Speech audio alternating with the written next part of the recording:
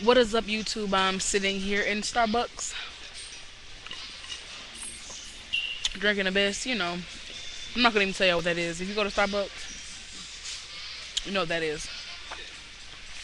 So I'm doing a quick little upload because, um, yeah, I haven't shown my face, and I reached a thousand subscribers without even trying. It's been forever and everything like that. And people are looking at me like I'm crazy because I'm in Starbucks with a 24-inch iMac. Yes, I am. That's what I'm doing. So I'm about to get up off this. I just want to let y'all know that I'm alive. I am in Kissimmee, Florida. Finally moved and, and did the doggone thing. So I'm out of Birmingham right now. And I'm just just happy to be making it. So I'm about to go. Couldn't how cut this thing off? Ah, oh there it is. Peace.